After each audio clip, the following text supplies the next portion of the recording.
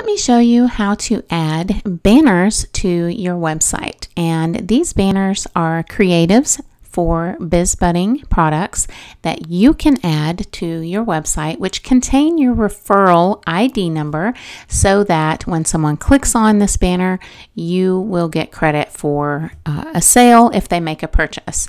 So, first of all, you want to be logged into your account on the BizBudding site. You just log in with the username and password that you created when you set up your affiliate account. And on the left hand side, you'll see a menu, and you want to click on BizBudding Affiliate Program. Once you're in the affiliate program dashboard here, you want to click on Playbooks. And this will bring up the various playbooks that we have, and we will be adding more to this as we go. However, we are going to use the How to Build a Remarkable Blog playbook for this example. And you can see we have several resources here, but we are going to focus on these banners. Now, these are banners that you can place anywhere on your website, in an email, or wherever online that you want to direct traffic back to your referral links. And so you'll see we have different sizes. We have a 300 by 250 and we have a 300 by 600 as well as a 160 by 600, a 460 by 60, 468 by 60, and last of all, this 728 by 90, which is the one I am going to be using for this example. So for this, I'm going to copy the entire HTML code here. And then I'm going to go to my website. And for this example, we're using ads and extra content.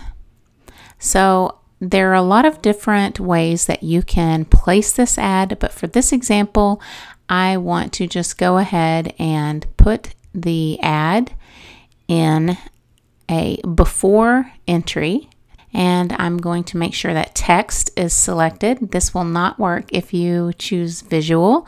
So you want to make sure that you are on the text tab and then you want to paste in the code. And at this point, oh, let me double check. We want to put this on posts and I am going to scroll down to the bottom here and save our changes. And then after this, I want to make sure that my banner is in the correct place. And so I'm going to visit my website and I'm just going to look at a random blog post to see how this works. And as you can see, my banner is here. Now you might not want to put your banner at the top of your post, but there are options. You can place the banner at the bottom of the post as well. Or you can place your banner inside of your post and you can choose after how many paragraphs your banner will show up.